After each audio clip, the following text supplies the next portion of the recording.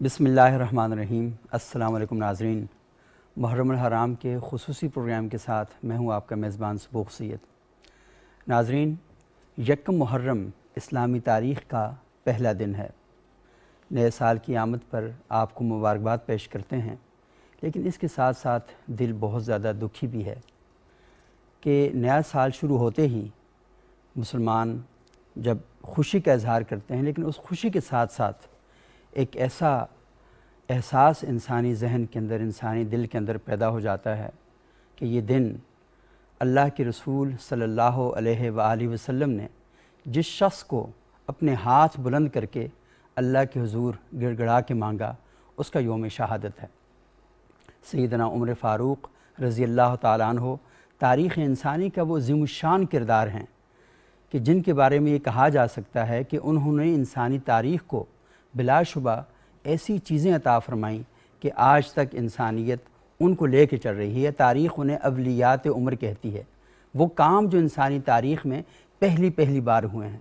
اور سیدنا عمر فاروق رضی اللہ تعالیٰ عنہ کی شخصیت ایک ایسی بے مثال شخصیت ہے کہ اللہ کے رسول نے اللہ سے جب مانگا تو باقاعدہ ہاتھ اٹھا کر کہا کہ یا اللہ ان دونوں عمروں میں سے ایک عمر مجھے عطا کر۔ اور وہ عمر جب آئے تو ان کی وجہ سے اللہ کے رسول نے پہلی بار اپنی نماز دار ارقم سے جا کے مسجد الحرام میں ادا کی، خانہ خدا میں جا کر نماز ادا کی۔ سیدنا عمر فاروق رضی اللہ تعالیٰ کی شخصیت اور ان کی ذات، عموماً بعض اوقات ہم کسی شخصیت کا جب احاطہ کرتے ہیں تو کچھ چند پہلو ہیں ان پر ہم فوکس کرتے ہیں۔ اور بعض اوقات ان کی جو نمایاں صفات ہوتی ہیں، ان کی وجہ سے ان کی شخصیت کے باقی جو پہلو ہیں وہ دب جاتے ہیں۔ تو آج ہم ان کی شخصیت کے بارے میں بات کریں گے اور یہ تاریخ انسانی کا وہ کردار جس کے بارے میں جب بھی لوگوں نے دیکھا، غیر جانبدار ہو کر لکھا، تو وہ شاندار چیزیں ہمارے سامنے آئیں کہ عقل انسانی دنگ رہ گئی کہ عرب کے ریگزاروں سے ایک ایسا وجود کھڑا ہوتا ہے اور انسان آج تک حیران ہے کہ وہ لوگ جو بالکل نہتے تھے اور جن کے اوپر ابھی چراغ مصطفیٰ کی کرنیں نہیں پڑی تھیں، اس وقت ان کی حالت کیا تھی؟ اور جب اللہ کے رسول صلی اللہ علیہ وآلہ وسلم کی نظر کرم ان پر پڑی، تو پھر اس کے بعد ان کی حالت کیا ہوگی؟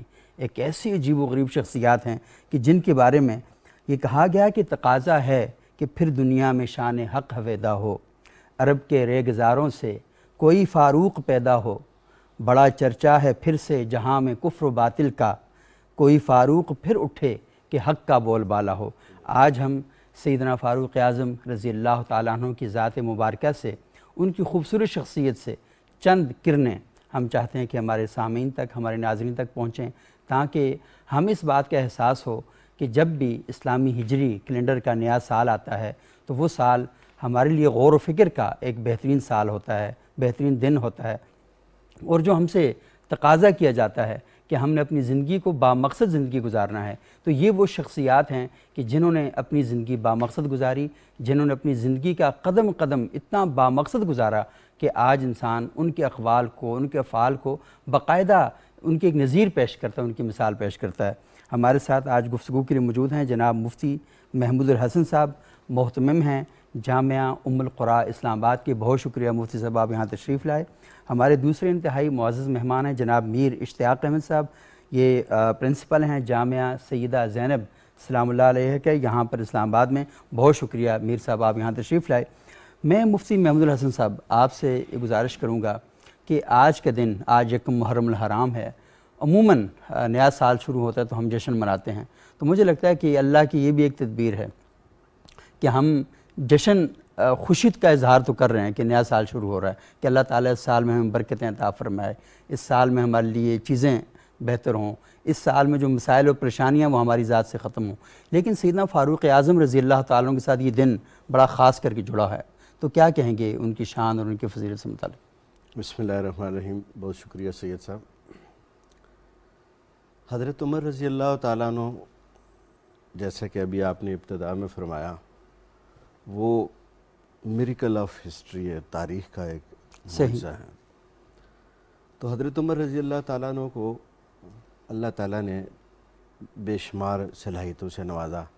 خدا داد اور خاص کر جس کو اختیارات کہتے ہیں وہ صرف حضرت عمر رضی اللہ تعالیٰ عنہ کے ساتھ خاص تھی یہ تو مقدر کی بات ہے کہ ایک عمر حضور کی زبان میں امت کا فرعون بنا اور ایک عمر جو ہے وہ مراد رسول بنا۔ تو آج چونکہ یوم شہادت حضرت عمر رضی اللہ تعالیٰ عنہ کا تو کسی نے کہا تھا کہ قاتل نے خنجر صرف سینہ عمر میں نہیں گھونپا بلکہ قلب کائنات میں پیوست کر دیا۔ یہ جب تک محفل کون و مکان زندہ رہے گی زمانے میں عمر کی داستان زندہ رہے گی۔ واہ۔ صدا محسوس ہوگی اس کے لفظوں کی ضرورت۔ شریعت کے محافظ کی اذان زندہ رہے گی۔ واہ بہت خوب۔ تو حضرت عمر رضی اللہ تعالیٰ عنہ بذات خود صحیح۔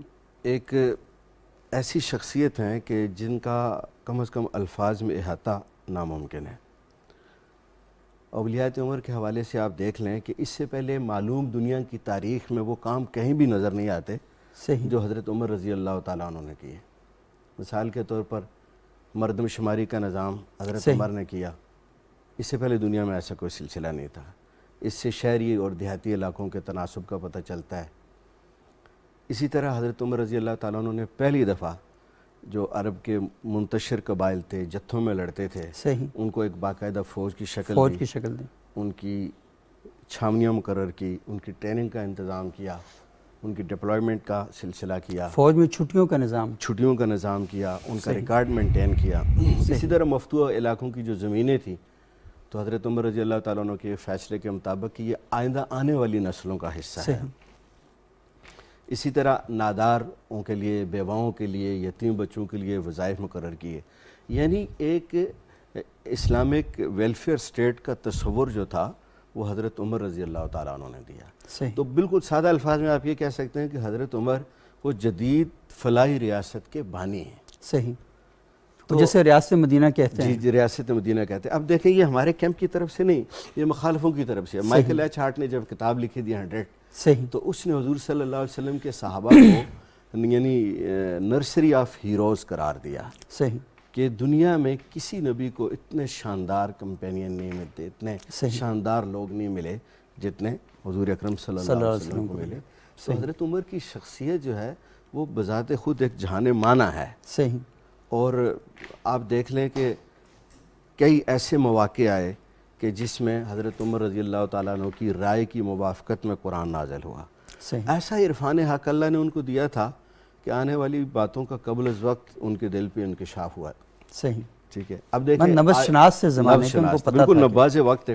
آج کل کے دور کا ایک اہم مسئلہ ہے کہ بہت زیادہ پاپولیشن ہو رہی ہے۔ شہر سمٹ رہے ہیں اس کی وجہ سے جرائم میں اضافہ ہو رہا ہے انسانی مسائل بڑھ رہے ہیں ریسورسز کم ہو رہے ہیں۔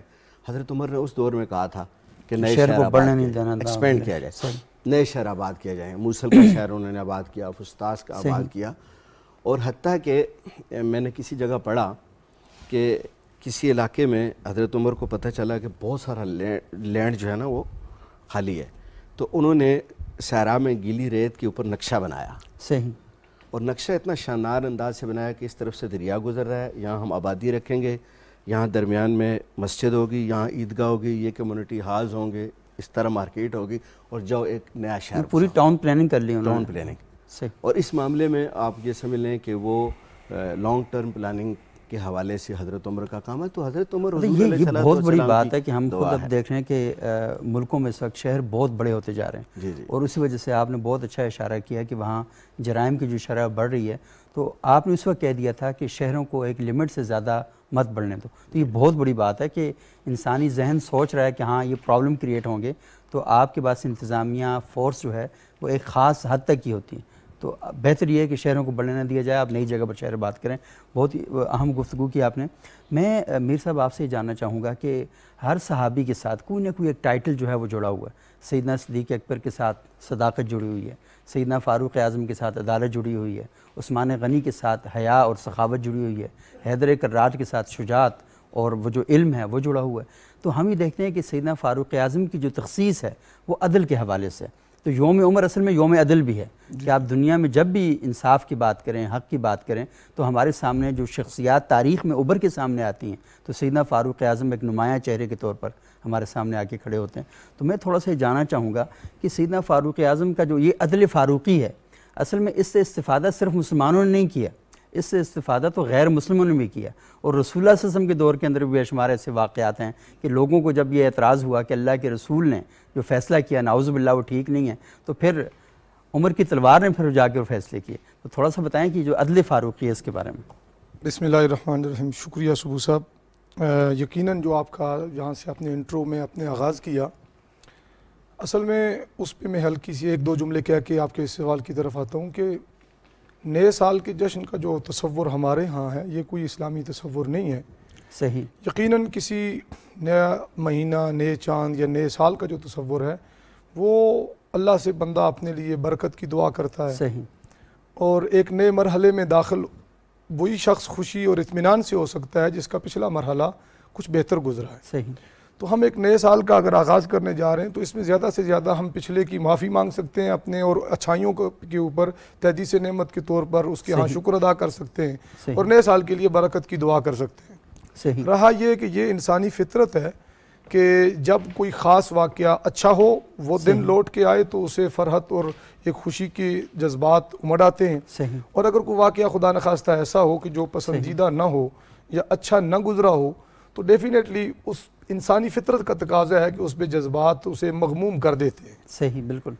شہادت سیدنا عمر فاروق رضی اللہ تعالیٰ عنہ یقیناً امت مسلمہ اور پوری تاریخ انسانیت کا یہ بہت بڑا ایک اس لحاظ سے نقصان تھا کہ دنیا سے اس کا ایک بہت بڑا رہنما۔ صحیح۔ اور جیسے میرے پیشروں نے محترم نے بات کی کہ وہ جدید فلاحی ریاست کے بانی بھی تھے اور آپ کا جو سوال ہے کہ وہ عدل کو پروان چڑھانے والے۔ صحیح۔ عدل فاروقی کو اگر ہم یہ کہیں اور ان کی بات کو بھی آگے اسی طرح کنٹینیو کریں کہ فلاحی ریاست اسے آپ اسلامک فلائی ویلفیئر اسٹیٹ نہ بھی کہیں صرف ویلفیئر اسٹیٹ بھی کہیں جو دنیا کے ہر شخص کو قبول ہو تو تب بھی یعنی صرف یہی نہیں کہ وہ مسلمانوں کے لیے تھا جو آپ کا سوال بھی ہے آپ کا عدل تو تمام اقوام کے لیے تھا تمام برادریوں کے لیے تھا۔ اور ہر کسی نے حضرت عمر فاروق رضی اللہ تعالیٰ عنہ کے زمانہ خلافت میں آفیت محسوس کی اور ہر کمزور سے کمزور شخص یہ سمجھتا تھا کہ عمر ہیں تو مجھے انصاف ملے گا۔ لہٰذا کمزور بھی آپ کے دروازے پہ آتا تھا۔ اس معاشرے میں جس معاشرے میں سیدنا عمر فاروق کے دور خلافت سے کچھ سال قبل تک عورت کو خاتون کو ایک فرد کے طور پر ایک انسان کے طور پر بھی تسلیم نہیں کیا جاتا تھا۔ صحیح۔ اسی زمانے میں چند سال گزرے ہیں نا حضرت ابوبکر صدیق کا دو سالہ زمانہ ہے سید کائنہ صلی اللہ علیہ وسلم کے بائیس تیئیس سالہ زندگی کا جو آپ کا وہ دور مبارک ہے۔ اس کے بعد سید عمر فاروق آ جاتے ہیں۔ تو یہ پچیس سال سے کم کا عرصہ ہے۔ اس سے پہلے کے کیا اور پھر حضور کے زمانے میں بھی کفار کے ہاں تو وہی رسم و رواج رائج تھے نا۔ مسلمانوں نے تبدیلی کی مسلمانوں نے بہتری کی مسلمانوں نے اس مصطفی نظام اور ریاست مدینہ کی بہاریں عام کی۔ ورنہ جن لوگوں نے اسلام کو قبول نہیں کیا اپنی روایات سے جڑے رہے ان کا تصور تو یہی تھا کہ عورت کو ایک فرد کے طور پر بھی ماننے کے لیے تیار نہیں۔ اور اس کے بعد بھی یہ دور تو ابھی پچھلی صدی تک بھی چلتا رہا ہے کئی اقوام میں۔ سیدنا عمر فاروق رضی اللہ تعالیٰ عنہ ایک ایگزیکٹو آرڈر جاری کر رہے ہیں مار کے حوالے سے۔ اور ایک خاتون کھڑی ہو جاتی ہے۔ ہاں جی۔ اب وہ عمر جو تیئیس لاکھ مربع میل کا حکمران ہے وہ عمر جس کا نام لے کے مائیں بچوں کو سلاتی اور چپ کر آتی ہیں وہ عمر جس کا نام سن کر کیسر و کسرا کی سلطنتیں کانپنے لگتی ہیں۔ اور شیطان راستہ جی سید سید کائنات صلی اللہ علیہ وسلم نے فرمایا حضرت عمر پاک کو خود یہ بات فرمائی کہ عمر تو وہ ہے کہ جس راستے میں تو جاتا ہے شیطان راستہ بدل جاتا ہے۔ تو ان کا روب دبدبا ان کی ان کا جاہ و جلال اپنی جگہ پر لیکن انہوں نے اپنی ریاست کے اندر عام آدمی اور وہ طبقہ خاص طور پر خواتین جنہیں ہر دور میں کمزور سمجھا گیا اور اسے کسی کے مرون منت سمجھا گیا اس اس طبقے کو یہ اختیار دے دیا عدل فاروقی نے کہ وہ کھڑی ہو کر نہ صرف یہ کہ اختلاف کرتی ہے بلکہ حضرت عمر فاروق کے جاری کردہ ایگزیکٹو آرڈر کو اس انتظامی حکم کو چیلنج کر کے کہتی ہے آپ غلط کہہ رہے ہیں اللہ ہمیں خزانے دیتا اور عمر منع کرتا ہے۔ اس حد تک ضرورت پھر آپ نے اس کو سوال کیا بھئی آپ تمہاری مراد کیا ہے؟ اس نے اپنی وضاحت کی قرآن مجید کی آیت پیش کی۔ اسی موقع پر اتنے بڑے عظیم حکمران یا اتنے بڑے عظیم امیر نے خلیفہ راشد نے اپنا حکم نہ صرف واپس لیا بلکہ کہا کہ خاتون درست کہتی ہے عمر خطا پر ہے۔ صحیح۔ تو عدل کا تو آغاز آپ کا اپنی ذات سے شروع ہوتا ہے اپنے گھر سے شروع ہوتا ہے۔ جو آپ نے چاند ایک ایگزامپلز دیں کہ جو کسی نے فیصلہ اگر چیلنج کیا یا کسی نے سید عمر فاروق رضی اللہ عنہ کی طرف رجوع کیا میں نہیں سمجھتا آپ نے یہ چاروں خلفاء کی بات کی نا کہ ہر ایک کا اپنا اپنا ایک تعارف ہے یا ایک وجہ شہرت ہے۔ نبی علیہ والسلام نے جس نظام کی بنیاد رکھی وہ پنپتا رہا وہ پروان چڑھتا رہا۔ عدل فاروقی در حقیقت عدل مصطفی۔ ہے بالکل جی اسی طریقے سے سیدنا مولا مرتضیٰ کی جو شجاعت ہے وہ شجاعت محمدی ہے۔ تو خلافت راشدہ نے نبی علیہ السلام کے نظام کو اس کی عملی صورت میں بپا کر کے لوگوں کو دکھایا کہ یہ ہے نظام محمدی یہ ہے خلافت محمدی اور اسلام کا نظام خلافت۔ اس میں سیدنا عمر فاروق رضی اللہ تعالیٰ عنہ کا کنٹریبیوشن یقیناً بہت ہی ڈیفرنٹ اور بہت بڑا ہے۔ بہت بڑا ہے بالکل۔ وہ جس طرح بہت ساری مثالیں مجھ سے پہلے کوٹ کی گئیں کہ انہوں نے ریاست کے نظام بنانے کے لیے اور ریاست کے ادارہ جات کی تشکیل کے لیے جو کام کیا وہ رہتی دنیا تک کے لیے ایک رہنما کے طور پر موجود ہے۔ اسی طریقے سے آپ نے اپنے مذہبی معاملات، ادارہ جات قائم کرنے، مساجد، وقف اور دیگر چیزوں کے اوپر۔ اچھا یہ میر صاحب، آپ نے بڑی ایک اہم بات کہی تھی۔ آپ نے کہا تھا کہ اگر اسے اسلامک ویلفیئر اسٹیٹ نہ بھی کہا جائے، صرف ویلفیئر اسٹیٹ بھی کہا جائے، تو تب بھی کیونکہ وہاں جتنے بھی رہنے والے تھے، ان سب کے لیے عدل کا اور انصاف کا نظام تھا۔ دیکھیں، بائیس لاکھ تیئیس لاکھ مربع میل پر حکومت کوئی چھوٹی بات ہو رہی ہے۔ جی، جی۔ اور ہر دروازے کے اوپر انصاف پہنچانا۔ اور لوگ جس تک ان کا انتقال ہوا تو کہا کہ کیا عمر دنیا سے اٹھ گئے یعنی اس حد تک بات چلی جاتی ہے۔ تو میں آپ سے گزارش کروں گا کہ ہم جس معاشرے کے اندر رہ رہے ہیں تو ہم ٹھیک ہے فضائل بیان کر رہے ہیں۔ سید عمر فاروق رضی اللہ تعالیٰ عنہ کے خلفۂ راشدین کا ہم بیان کرتے ہیں۔ ربی الاول کا مہینہ آتا ہے تو ہم اللہ کے رسول صلی اللہ علیہ وآلہ وسلم کی تمام صفات کو خوبیوں کو بناتے ہیں۔ اصل چیز یہ ہے کہ ہم ان روایات کو ان اقدار کو اپنے معاشروں کے اندر نافذ کیسے کریں؟ اور یہ کیونکہ حکومت کی سطح پر بھی اور شہریت کی سطح پر بھی کیسے نافذ کیے جا سکتے ہیں؟ دیکھیں سید صاحب بڑی امپورٹنٹ اور بنیادی بات آپ نے کی کہ اس میں کوئی شک نہیں کہ ہمیں اپنے بڑوں سے محبت ہے اور ان کی محبت میں ہماری سانسیں چلتی ہیں۔ لیکن سوال یہ پیدا ہوتا ہے جس طرح علامہ اقبال نے کہا کہ تھے تو وہ تمہارے آبا تم کیا ہو؟ تم کیا ہو؟ ہاتھ پہ ہاتھ درے منتظر فردہ ہو۔ صحیح۔ تو وہ شاندار تاریخ کہ جس کو آج غیر مسلم اقوام اپنا کے تو دنیا کے اندر فلاحی ریاستیں قائم کر رہی ہیں۔ یورپ کے کئی ممالک میں عمر لا چل رہا ہے۔ صحیح۔ ٹھیک ہے؟ اور تاریخ کی کسوٹی پہ اس چیز کو پرکھ لیا گیا کہ ایسا ممکن ہے اور کر کے دکھا دیا۔ صحیح۔ اتنی ارلی ہے نا تیرہ چودہ سو سال پہلے کی بات ہے۔ تو دیکھیں سب سے پہلی بات تو یہ ہے کہ اس کے حوالے سے ہمیں اکیڈمک طور پہ تیار ہونا پڑے گا۔ صحیح۔ ٹھیک ہے اکیڈمک طور پہ تیار ہونے کے لیے ضروری ہے کہ ہمارے تعلیمی اداروں میں حضرت عمر رضی اللہ تعالیٰ عنہ کے کارنامے ان کی اختراعات اور وہ باتیں جس کو انہوں نے بنیاد بنا کر ایک شاندار معاشرہ حضور علیہ السلاۃ والسلام کی تعلیمات میں تشکیل دیا اس کو عام کرنا ہوگا۔ صحیح۔ پھر اسی طریقے سے جو ہمارے ادارے ہیں جہاں انفراسٹرکچر بن رہا ہے صحیح۔ وہاں اس حوالے سے کام ہونا چاہیے۔ اور حضرت عمر رضی اللہ تعالیٰ عنہ کے جو مختلف شاندار کام ہیں ان کو اپلائی کرنا چاہیے۔ اس سے تھوڑی اوپر علی سطح پر رہے ہیں تو ہماری پارلیمنٹ ہے۔ پارلیمنٹ کے اندر ایسے قوانین بنانے چاہیے۔ دیکھیں سب سے بڑی بات تو یہ ہے کہ جب کسی شخص کا ذاتی کردار ایسا ہو کہ کوئی اس پہ انگلی نہ اٹھا سکے تو اس کی زبان سے نکلی ہوئی ہر بات لوگوں کے لیے حجت بنتی ہے۔ صحیح۔ حضرت عمر رضی اللہ تعالیٰ عنہ نے جو کیا وہ ان کی عملی زندگی میں بھی شامل تھا۔ صحیح۔ دیکھیں نا مشہور بات ہم پڑھتے ہیں کہ وہ ایک درخت کے نیچے اپنے بازو کا سرحانہ لیے بہت آرام سے استراحت فرما رہے تھے۔ اور جو ملنے والا آیا تو اس کو پوچھنا پڑا کہ یہ عمر ہے؟ اس لیے کہ اس کو تو ملوک کی عادت تھی بادشاہوں کی عادت تھی جن کا ہاں۔ کروفار تھا جن کا پروٹوکول تھا۔ تو ان کے لیے تو حیرت تھی کی بات تھی کہ اتنا بڑا بائیس لاکھ مربع کلومیٹر کا حکمران اور اتنے آرام سے ایک درخت کے نیچے سو رہا ہے۔ کیوں سو رہا ہے؟ بھائی انصاف کی وجہ سے سوشل جسٹس کی وجہ سے۔ اس کو کوئی سیکورٹی کی ضرورت ہاں، نہیں ہے یہ فرمایا کی ضرورت نہیں ہے۔ حضرت عمر نے فرمایا کہ حجر کے مقام پر بھی اگر کسی کو انصاف کے لیے پسینہ بہانا پڑے تو یہ درست بات نہیں ہے۔ یعنی دیکھ لیں کیسی بڑی بات ہے کہ انصاف آپ کے دروازے تک ہو۔ آپ کو انصاف خریدنا نہ کرنا خریدنا نہ پڑے۔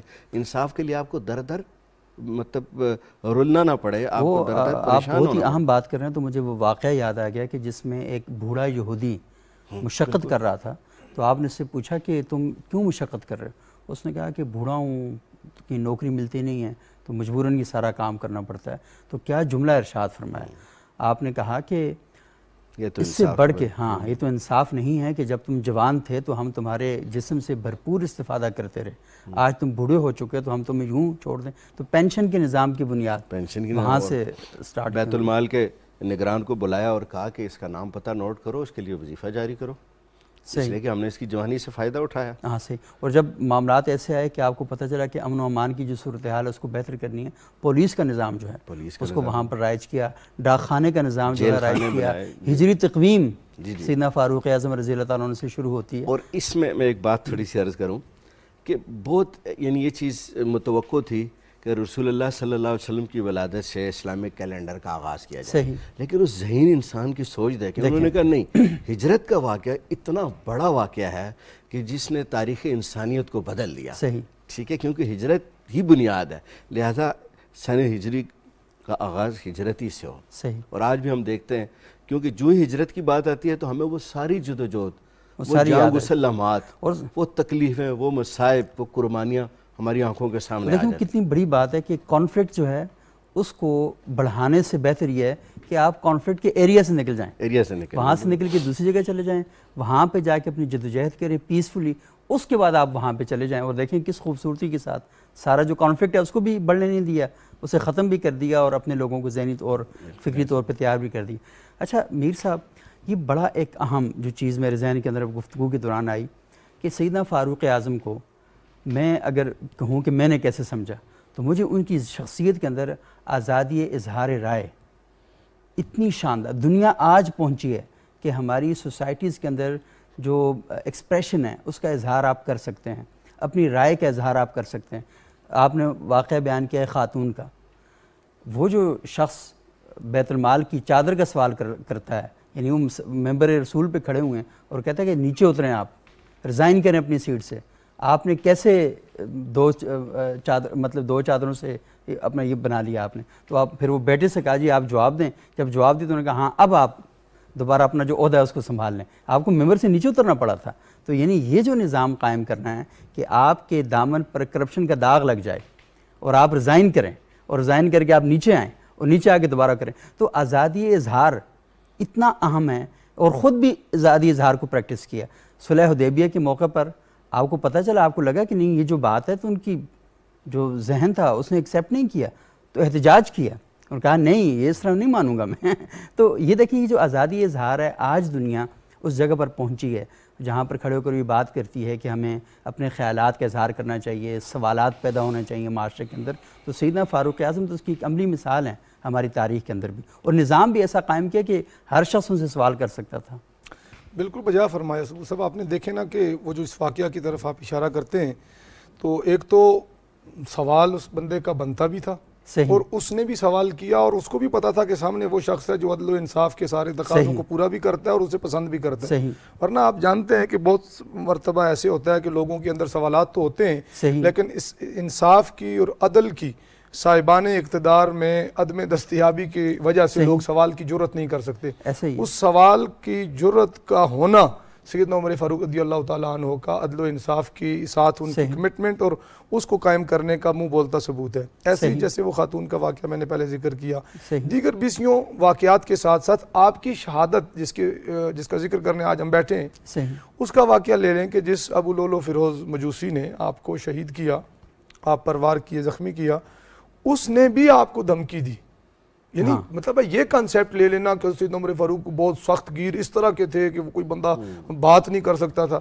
جب آپ کی اس سے کنورسیشن ہوئی اس نے آپ سے اپنے آقا کے شکایت کی مغیرہ بن شعبہ رضی اللہ عنہ کی تو آپ نے اس شکایت کا جائزہ لے کر اسے غیر معیاری یا درست نہ قرار دے کر اسے رد کر دیا۔ آپ نے بہت ہی اچھی بات کہی ہے کہ بجائے اس کے کہ ہم رائے فرار اختیار کریں جی ہاں۔ تو ہمیں چاہیے کہ ہم اپنے نوجوانوں کو اپنے جو لوگ ہماری سوسائٹی کے اندر اہم مناسب پر ہیں انہیں اس بارے میں آگاہ کریں کہ نہیں یہ نظام نافذ ہو سکتا ہے نیت ٹھیک ہونی چاہیے نیت میں فطور نہ ہو تو سارے کام فرشتہ ہونے کی صبح میں صرف اتنا جملہ کہنا چاہتا ہوں فرشتہ ہونے کی ضرورت نہیں۔ اگر عرب فرشتوں سے بہتر ہے انسان اس عرب کے بگڑے سماج میں فاروق اعظم جیسے شخص پیدا ہو سکتے ہیں تو ہم تو صدیوں سے مسلمان معاشرے میں رہے معاشرے کے اندر رہ رہے ہیں اور ہم یہ سارا کر سکتے ہیں۔ بہت شکریہ آپ کا دونوں مہمانوں کا اور ناظرین آج ہم نے گفتگو کی سیدنا فاروق اعظم رضی اللہ تعالیٰ عنہ کا یوم شہادت ہے، ان کی شان، ان کی شخصیت، ان کی عظمت، ان کی فضیلت بیان کرنے میں بڑا اہم ہے۔ لیکن سب سے اہم بات یہ ہے کہ انہوں نے جس قسم کا نظام قائم کیا اس معاشرے کے اندر، اس نظام کو ہم دوبارہ کیسے قائم کر سکتے ہیں؟